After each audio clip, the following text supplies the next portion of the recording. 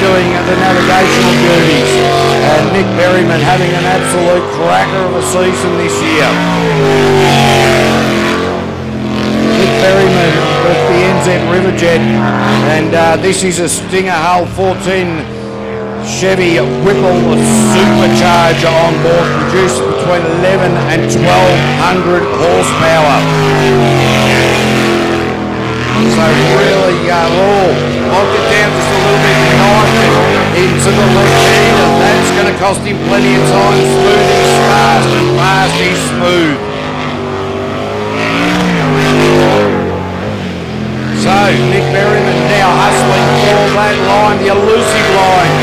Oh, nice time, 46.215. Nick Berryman into P2. The forecast is sensational.